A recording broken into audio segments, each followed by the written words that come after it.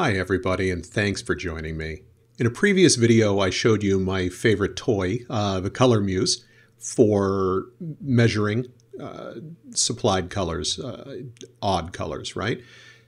In this video I'm going to show you how to take that one step further and actually use that to match certain colors within uh, Flexi in this case.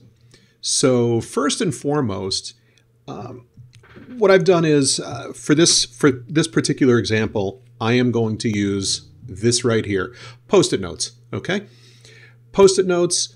I have no idea what color this is. It really doesn't match any color that's in my Pantone book, not exactly. And let's say this is what a customer provided me. I want this post-it note color. I measured the color using my color muse, right? This guy right here. I measured that and I got values. I got lab values. Right? What I'm going to do now is show you how I would set that up in Flexi to automatically kind of intercept that color and um, give it the appropriate match. And so what I'm going to do here is I have a printer chosen. I'm going to go down to my setup. I'm going to choose default job properties. This is going to bring up this dialog box. And over here, I have color management. It's the third tab over. I'm going to choose color management. And what I'm going to do is I'm going to come down here to color mapping down toward the bottom. So I want to make sure that this is on. Color mapping means it, it, has the Pantone library as an example. So if I have Pantone 485 red, Flexi will intercept that name if it sees a spot color. And I want to be really clear, this is for spot color. But Pantone will see the name Pantone 480 or Pantone Flexi will see the name Pantone 485 red. It will automatically apply its own map. So I'm going to choose color mapping here. And what I'm going to do is I'm going to create a new mapping here. So I'm going to go to plus. I can go to my color chooser, right? I can do it this way. But what I'm going to do is I'm going to measure color. Now, I'm not really going to measure color, okay? But what I'm going to do is I'm going to plug the lab values in that I found when I used my color muse on that on that uh, pan uh, on that post-it note. So I'm going to type in 86.20, 9.10. Oh, 86.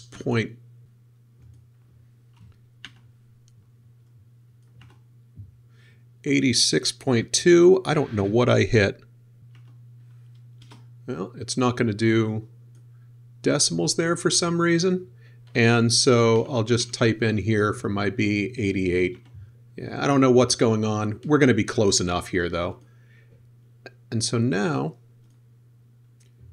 okay. If I go to measure color, oh, right. Here's what it's saying is that right now it's about 1.17. You can see the numbers. I don't have to type them in. But what I'm going to do is I'm going to put here post it yellow.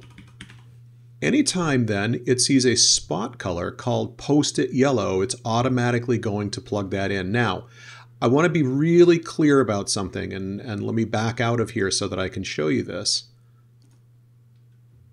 All right.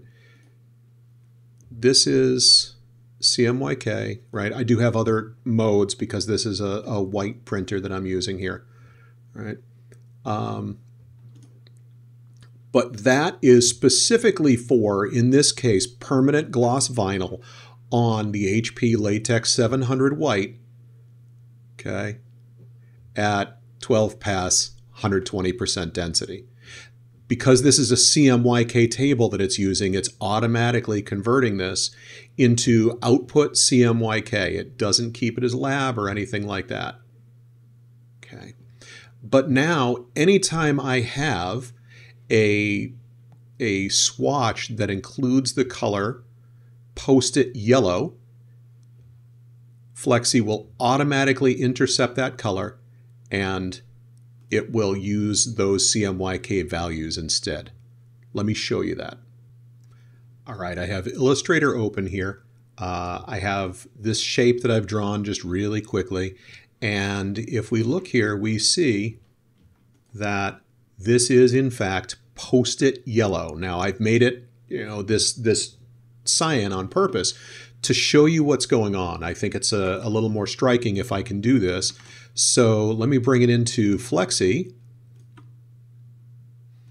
So I have it in Flexi here, and you can see it is still very, very blue. Okay? And if I come over here, I want to verify that everything is set up properly in here. All right, so we're HP Permanent Gloss Adhesive Vinyl, 12 pass 120. My color mapping is, in fact, set up here, post-it yellow. I made sure in Illustrator that that name matched this name here. But now watch this. If I come over here, this is cool. If I go to Object Color Control, watch what happens right here when I hover my mouse, right? You can see no color at all. Look at that. So I have the original color is spot post-it yellow, which is that cyan. But the output color is going to be 115920, which is a rounding for the values that I put into that, that color mapping dialog on the, on the other tab. That's what it does. So when I actually print this job, it will print that post-it yellow or as close as, as the profile allows rather than the blue that's in there.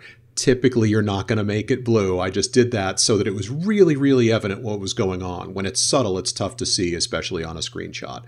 Okay, but here we can very, very clearly see what's going on. Now, let me take it one step further for you. I'm back in the color mapping dialog now, and I'm close, but I'm not really, really excited about where I am. So if I come over here to modify, or I can just double click the color name, either way, brings up that dialog box again. Looks familiar, right? But watch, now what I can do is I can come over here to print swatch. And when I print swatch, ask me what font I want the labels, doesn't really matter. But I'm going to go ahead and print the swatch. And if I back out of here, right, okay, all right, yep.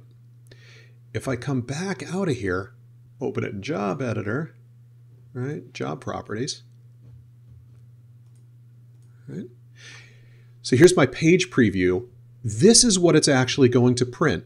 So as I look at this, the center value, so row 4, column 4, is always going to be the value that I put in, which in this case you can see 1.176, 15.294, right? That's that right there. But what it's doing is it's printing variations of hue and saturation and, and uh, um, I feel like I'm missing one hue, saturation, uh, brightness. Uh, so I have a variety of colors, right? I've got 64 different options that are around that. And around that in the dialogue, and I'll go back in a moment and show you where that dialogue was, but in that dialogue, I got to choose how, how fine uh, those, those values were. Uh, I believe I have it set up to be in, in 5% increments. Um, but let's say I, I would actually print this. I would print this at the mode that I need on the media that I need. And then I would compare it against, I'd take a post it note and move it around all those swatches and see which is the best. And it could be that after I do that, I say, oh, it's actually row, row seven, column four. Okay. So now if I come back into my default job properties, whoops, into my default job properties, come over here into my color management, and then go to my color mapping, right? Edit this. Oh, yeah, there's the increment, 5%. Look, X and Y. So there I could put that it's actually 7 and 4. And watch these numbers when I update my color. Now I'm going to do I'm going to do X of 7 instead of 4. When I update my color, it changed. Looks like really it changed only my yellow value in that case. Okay, but whatever it needs to do to hit that color, which row 7, column 4 now. Okay, so I can actually print those swatches and get really, really close. And I can fine tune that then by going back in here, plugging these numbers in, and then printing another swatch based on that. Okay, so I can fine tune. I can say, oh, now I want to do 3% increments or whatever so that I get more finer control. More finer? Yeah, it works. Finer control. Okay the things to remember here, the the big key takeaway to remember here is first of all these these numbers are are output CMYK, so they have no relationship to what you designed on. You do need to make sure that your color management is on, right? Use color correction. If I have no color correction, then this doesn't work as well. It'll still work, but it's harder to get to. Uh, but the big, big, big one is make sure that in your color mapping, make sure that that name is used in Illustrator, Flexi, InDesign, whatever it is that you're using, it has to be a spot color. If this is processed, whether it's RGB, CMYK, uh, this will not work. It has to be a named color in your artwork, right? That's the really, really big one. Okay. So I hope that was uh, useful to you. Uh, I, I wish you the best of luck in matching those weirdo colors, uh, those difficult colors that you might need to hit for your customers. And thanks again for joining me. I'll see you soon.